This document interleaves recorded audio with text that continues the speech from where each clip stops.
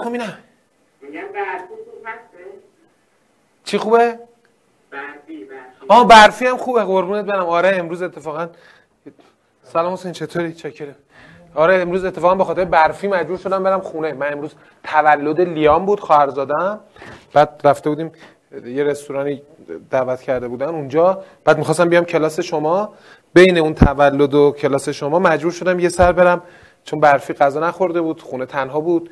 مجبور شدم برم خونه بهش غذا بدم آبشو عوض کنم پیپیشو بگیرم بعد پاشم بیام.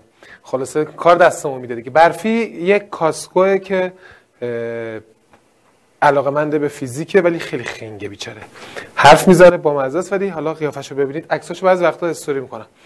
یه قیافه خیلی خنگی داره. خدمت از ما آقا ناصری. آقا ناصری بریم؟ استرس مثل ریخت داداش. ریخت داداش. داداش ریخت. برو بریم. ببین ناصری اول فرق این دوتا رو به من میگی الکترونگاتیوی و الکترون خواهی.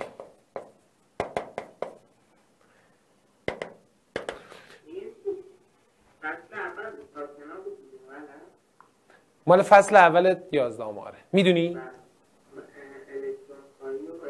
آقا من کتاب نظام جدید خیلی دوست دارم خب؟ بعد همه هم میگن علت این که تو دوست داری کتابو اینه که خیلی شبیه شده به که من یک کتابی سال 89 تو خیلی سبز نوشتم هنوزم هست کتابه. کتاب آموزش جامع فیزیک خب؟ این کتاب اون موقع اسمش کم حجم و مقوی بود تو خیلی سبز. بعد شد اسمش جامع فیزیک. بعد تو اون یه سری چیزا رو تعریف کردم. یعنی یه سری چیزای جدید توش گذاشتم. به علاوه اینکه یه سری ایرادام از کتاب درسی گرفتم مثلا اون 15 16 تا تو کل کتابای دبیرستان. همش تو کتابای نظام جدید درست شده. اون دوست داریم که همکار من معلم فیزیکن میگن چقدر کتاب نظام جدید شبیه شده به اون کتابی که تو نوشته بودی. بعد اینا فکر می‌کنن چون شبیه کتابی بوده که من نوشتم من خیلی دوستش دارم کتابو. در حالی که چون کتاب خیلی خوب شده دوستش دارم. نه اینکه چون شبیه کتابی شده که من نوشتم درستش همینه. یکی از تعریفایی که اونجا ما اولین بار استفاده کردیم هم کلمه الکترون خواهی بود. اون موقع تو کتاب درسی های نظام قدیم نبود خب؟ ولی تو اون کتاب مثلا من اومدم برای بچه‌ها الکترون خواهی رو تعریف کردم گفتم آقا یه چیزی داریم به نام الکترون خواهی. الان تو کتاب شما اضافه شده. و بعد اونجا فرقش رو با الکترونگاتیوی توضیح دادم. اینو بچهای نظام قدیم نداشتن. ولی من تو کتاب نظام قدیم براشون نوشتم تو اون کتاب کمک آموزشیه الان خوشبختانه این یکی از اوناست که بهتون میگم. الان تو نظام جدید اومده. و این خیلی مهمه شما فرق این دوتا رو بفهمید. دیدتون رو بهتر می‌کنه. من کمکت بکنم که اینا فرقش تو جو... آخه شیمی و فیزیک شیمی و فیزیک یه علمه بچه ها. ما آدما بشر جداش کرده. دست که اینا همش یه چیزه یه علمه. واسه همین شما خیلی از چیزایی که تو شیمی دارین تو فیزیک هم دارین. یا ریاضی هم همینطور. اینا همش یه چیزه. یعنی خداوند وقتی میآفرید علم رو همه رو یه چیز آفرید. یه علم آفرید. که بهش میگن سنت الهی. علم تو دین و زندگی شما بهش میگین سنت الهی. یعنی قوانینی که خداوند تو جهان ایجاد کرده برای اینکه طبق این قوانین جهان رو اداره کنه. اون قوانین میشه قانون اول نیوتن قانون دوم نیوتن. همه چیزایی که تو شیمی و فیزیک و ریاضی و اینا می‌خونین. اینا همش یه چیزه. ما آدما جداش کردیم. برای همین شما اشتراکات زیادی می‌بینین. هرچی که تو فیزیکه همون تو شیمیه همون تو ریاضیه همون تو دین و زندگی هر کی به زبون دیگه ای میگه. حالا در طول سال تحصیلی خواهید دید که همه چیزایی که من میگم بتون مشابه ریاضیش و مشابه شیمیش هم میگم. میگم به زبون شیمی میشه این به زبون ریاضی میشه این. حالا الان کاری ندارم. فقط می‌خوام تو بفهمی شیمی و فیزیک درسای مشترک بحثای مشترک زیاد دارن. یکیش این. من یه بار سریع میگم به این متوجه میشی فرقشون چیه. الکترون نگاتیوی میزان علاقه یه اتم به جذب الکترون. در حالی که الکترون خواهی میزان علاقه یک جسم به جذب الکترونه. خب فرقش چی شد؟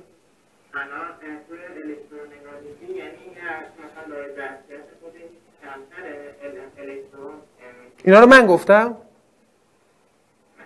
درسته ولی می‌خوام پیچیدهش نکنی. می‌خوام به زبون ساده بگی. به من بگو اینی که من گفتم فرق این دوتا چیه؟